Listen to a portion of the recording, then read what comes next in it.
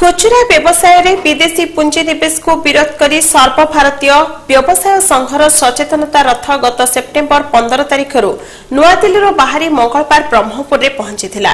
ଏହି ଅବସରରେ chamber of commerce ତରଫରୁ ରଥକୁ ସ୍ୱାଗତ କରାଯିବା ସହ ଏକ ସାମ୍ବାଦିକ ସମ୍ମିଳନୀ ମାଧ୍ୟମରେ ଏହି ସଚେତନ ରଥର ଉଦ୍ଦେଶ୍ୟ ସମ୍ପର୍କରେ ସୂଚନା ଦିଆଯାଇଥିଲା।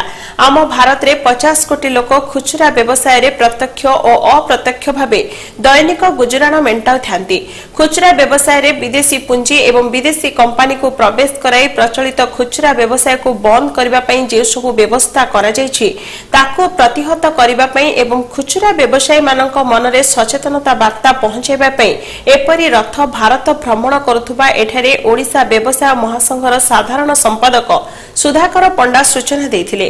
ବ୍ୟବସାୟୀ ମହାସଂଘ ସେମାନଙ୍କ ସାମାଜିକ ସ୍ଥିତି ପ୍ରତି ଗୁରୁତ୍ୱ ଦେବାକୁ ସରକାରଙ୍କ ପାଖରେ ଦାବି ଜଣାଇବା ପାଇଁ ଏହି ରଥଯାତ୍ରା ଆୟୋଜନ କରାଯାଉଥିବା ଏଠାରେ କୁହାଯାଇଥିଲା।